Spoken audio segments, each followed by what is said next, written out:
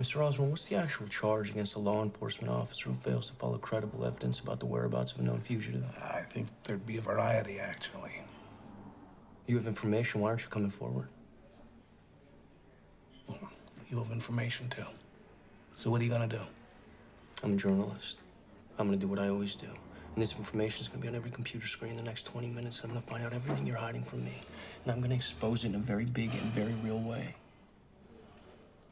You're about to do a lot of damage to a lot of people. You have no idea how much. I think they have it coming. On that, you could not be more wrong.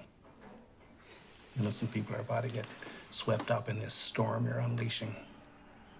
Trust me. Trust you. Tell me something, Mr. Osborne. Are you one of those innocent people? No, I am not. But my daughter is. 啊，说。